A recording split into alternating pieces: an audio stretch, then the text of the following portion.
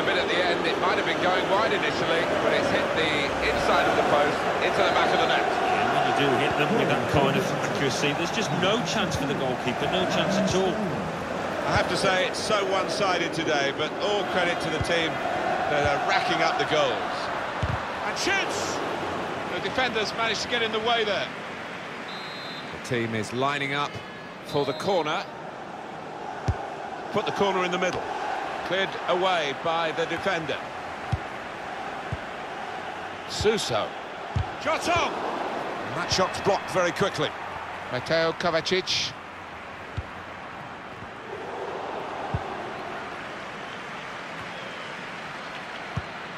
Sergio Ramos able to cut it out. Opportunity in a wider area.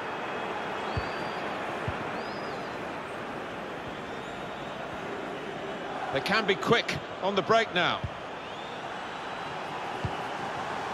Marcelo.